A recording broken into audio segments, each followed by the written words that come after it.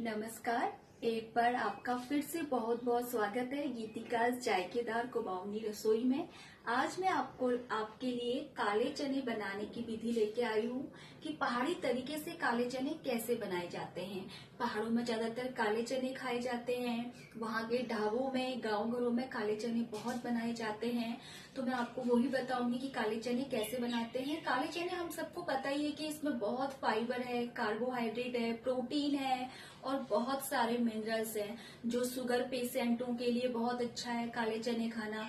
बच्चों को आप दे सकते हो काले चने भिगा के तो ये सबके लिए ही बहुत अच्छा है। तो मैं आपको आज रेसिपी शेयर करूँगी कि पहाड़ी तरीके से काले चने कैसे बनाते हैं। तो आइए मैं आपको दिखाती हूँ इसमें कौन कौन से इंग्रेडिएंट्स डालते हैं। तो सबसे पहले मैंने ये दो बड़े प्याज काट लिए हैं, दो बड़े टमाटर काटे हैं, दस से बारह लहसुन है और तीन से चार ये हरी मिर्च है। और इसमें मसाला क्या क्या डलेगा? ये तीन टेबल स्पून धनिया पाउडर है, एक टेबल स्पून जीरा पाउडर है और एक स्पून गरम मसाला है। ये गरम मसाला मैंने घर पे तैयार किया है। मेरा खुद का बना हुआ गरम मसाला है। इससे बहुत अच्छी खुशबू आती है। तो मैं आपको इसकी भी रेसिपी आगे चल के शेयर करूँगी। गरम मसाला घर पे कैसे बनाया, बनाए। और ये दो लौंग है और वन पिंच और ये वन स्पून वन स्पून हल्दी पाउडर है टेबल स्पून लाल मिर्च पाउडर और मिर्च आप अपने हिसाब से कम ज़्यादा कर सकते हैं जितना मिर्च आप खाना चाहते हैं। और ये काले चने हैं मैंने ये रात को भिगो के रख दिए थे 10 से 12 घंटे आपको इनको और ये दो बड़े आलू हैं। आलू को हम लोग रफली चॉप कर लेंगे काट लेंगे। देखो मैं आपको दिखाती हूँ इसके बड़े बड़े ही पीस करने हैं ज़्यादा वो नहीं करने बस इतने बड़े। इतने बड़े हम इसके पीस करेंगे। सारे काट लिए हैं बड़े बड़े पीस में, क्योंकि ये बड़े पीस में काटने का भी रीजन ये है कि इसको ग्रेवी को थोड़ा ठीक करने के लिए मैं बाद में इसको मैश कर लूँगी पकने के बाद। ये मैंने दो कटोरी काले चने लिए थे, उसको भिगा के ये इतने हो गए हैं। तो आइए मैं बताती हूँ आपको ये कैसे बनाना है। ये मैंने कुकर में तेल रखा है। इसमें मैंने दो चम्मच तेल डाल दिए हैं, डाल रखा है और ये गरम हो गया है। जैसे ही तेल गरम होगा और ये सरसों का तेल है, पहाड़ी खाना ज़्यादातर सरसों के तेल में ही बनाया जाता है। जब तेल से धुआँ आने लगे तो मैं ये हींग और ये जो मैंने हींग लिया था, इन दोनों को इसमें डाल दूँगी। हींग और लौंग भुन गया है। अब मैं इसमें ये, जो मैंने ये प्याज और हरी मिर्च काटे हैं, इसको मैं तेल में डाल दूँगी। ये सारा ही मैं इसमें डाल दूँगी। और इसको मैंने पाँच दस मिनट के लिए ब्राउन होने तक इसको भूनूँगी। ज़्यादा ब्राउन नहीं करना है, बस प्याज का कच्चापन निकल जाए, उतना ही हम इसको ब्राउन करके भूनेंगे। इसको अभी पाँच मिनट ऐसे ही भूनना है, कम गैस में। जब ये भून जाएगा तो फिर मैं इसमें टमाटर डालूँगी और लहसुन मैंने इसमें डाल दिए हैं। इसमें लहसुन डाल दिए हैं, जो ये कूटने वाला है, और इसमें मैं इसका दरदरा पेस्ट बना लूँगी कूट के, ज़्यादा महीन नहीं करना है दरदरा पेस्ट बनाना है। देखिए मेरा प्याज भून चुका है। जब ये ऐसे हल्का गुलाबी हो जाएगा, हमको इतनी देर तक इसे भूनना है। अब मैंने ये लहसुन का जो ये पेस्ट दरदरा पेस्ट बनाया था, वो मैं इसमें डाल दूँगी। और इस लहसुन को भी दो से तीन मिनट तक भूनेंगे, ताकि इसका कच्चापन निकल जाए। और जब ये लहसुन भून जाएगा तो फिर मैं इसमें टमाटर डाल दूँगी लहसुन भून चुका है और बहुत अच्छी खुशबू आ रही है। अब मैं जो मैंने दो बड़े टमाटर लिए थे, वो मैं इसमें डाल दूँगी। और ये हमेशा ध्यान रखिए कि जैसे ही आप टमाटर डालते हो, वैसे ही आपको उसमें नमक डालना है, ताकि ये टमाटर फटाफट से गल जाए। तो मैं इसमें ये नमक डाल दूँगी।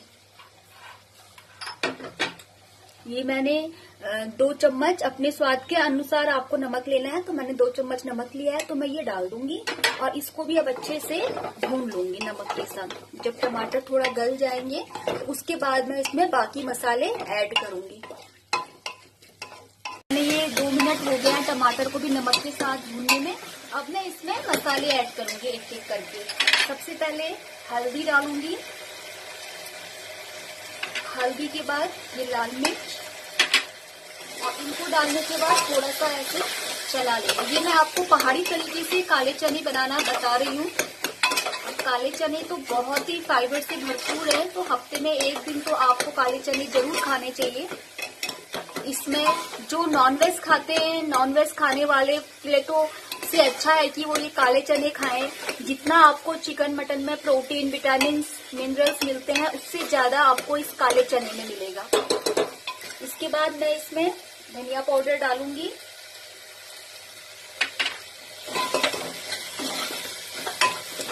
धनिया पाउडर के बाद मैं इसमें जीरा पाउडर डालूँगी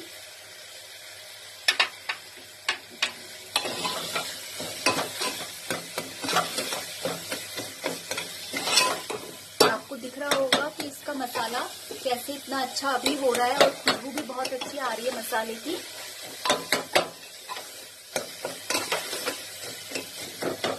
इसको मैं दो तीन मिनट तक अभी ऐसे ही भूनूँगी। मसाला भूनते भूनते पाँच मिनट हो गए हैं और मसाले साइड से तेल छोड़ लिया है। देखिए। ये अच्छे से पक गया है। बस टमाटर को ऐसे मैश करते रहना है बीच में, ताकि टमाटर अच्छे से गल जाए। देखो, सारा टमाटर गल गया है और इससे बहुत अच्छी खुशबू आ रही है। अब मैं इसमें, ये जो मैंने गरम मसाला, घर का बना हुआ मेरा गरम मसाला है, ये मैं ऐड कर दूँगी। इसको भी अच्छे से मिक्स कर लूँगी। अब मैं इसमें काले चने डाल दूँगी। अब मैं इसमें ये काले चने डाल रही हूँ। काले चने डालने के बाद इसको मैं पानी डाल के, ये मैंने इसमें सारे काले चने डाल दिए हैं। काले चने डालने के बाद तीन से चार मिनट तक आपको ऐसे इसको लगातार भूनना है। ये सारे मसाले मिक्स हो गए हैं। इसमें मैं अब चार गिलास पानी डालूँगी। जितना आपको पतला रखना है, उतना पानी डाल सकते हो। जितना कम रखना है, गाढ़ा रखना है, उतना पानी डाल सकते हो। तो मैं ये इसमें एक लोटा पानी, इसमें तीन से चार गिलास पानी आते हैं, वो मैं डाल दूँगी। इसको धो के, इसको पानी डाल के आप अच्छे से घुमा के, ये देखिए, कितने सुंदर लग रहे हैं। इसको मैं अब कुकर का ढक्कन लगा के चार से पाँच सीटी आने तक इसको मैं पकाऊँगी। चार से पाँच सीटी के बाद मैं इसको चेक करूँगी, बनने के बाद बन जाएगा। काले चने बहुत जल्दी पक जाते हैं, बिल्कुल टाइम नहीं लगता है। सीटी चली गई है। मैंने इसको पाँच से छह सीटी तक पकाया। अब मैं चेक कर लेती हूँ ये कैसे बने हैं। वाह देखने से तो बहुत अच्छे लग रहे हैं चने। ये देखिए ये इस तरीके से तैयार है। और मैंने जो इसके आलू हैं बड़े बड़े पीस आलू काटे थे तो मैं ऐसे साइड करके इनको सारे मैश कर लूँगी। मैंने सारे मैश कर लिए आलू, और ये इसकी ग्रेवी इतनी थिक है। आप अगर इसको रोटी के संग खाना चाह रहे हो तो इससे भी ज़्यादा थिक रख सकते हो, और अगर चावल के संग खा रहे हो तो थोड़ा पतला इसको रख सकते हो। ये आपके ऊपर डिपेंड करता है। तो हम, मैंने तो इतनी ग्रेवी रखी है अब मैं आपको इसकी प्लेटिंग करके दिखाती हूँ। देखिए फ्रेंड ये मैंने इस काले चनों की प्लेटिंग कर ली है। आप इसको ऐसे नींबू के साथ खा सकते हो। इसको अब थोड़ा सा नींबू ऊपर से डालोगे तो खट्टा टेस्ट बहुत अच्छा लगता है। लेकिन हमारे जैसे पहाड़ियों के मैंने ये चने बनाए हैं तो पहाड़ियों में तो ये खीरे के रायते के साथ ही आप खा सकते हो। हमारे आप कहीं पे भी पहाड़ी ढाबों में अगर जाओगे तो वहाँ पे इसको ये रायते के साथ ही सर्व किया जाता है। तो ये ऐसे रायते के संग खाने में बहुत टेस्टी लगता है, काले चने के संग ये। सुबह ब्रेकफास्ट में आप ये काले चने ऐसे खा के जाइए, आपको पूरा दिन भूख नहीं लगेगी, आप इतने एनर्जेटिक रहेंगे, इतनी ऊर्जा आपको इन काले चनों से मिलेगी तो इसमें बहुत ज़्यादा एनर्जी भी होती है इसको खाने से। एक बार ज़रूर मेरे ये काले चनों की रेसिपी आप लोग ट्राई ज़रूर करिए, कैसे बने आप मुझे बताइए, कैसे मेरी, आपको रेसिपी लग रही है? आप प्लीज़ मुझे कमेंट बॉक्स में आप मुझे बता सकते हैं। और कोई आपको रेसिपी सीखनी है, बनानी है तो आप मुझे ज़रूर पूछिए। मैं ज़रूर आपके लिए लेके आऊँगी नई वीडियो बनाने के लिए। तो आप लोग प्लीज़ मेरे, आपने मेरी ये पूरी वीडियो देखी, उसके लिए बहुत बहुत धन्यवाद।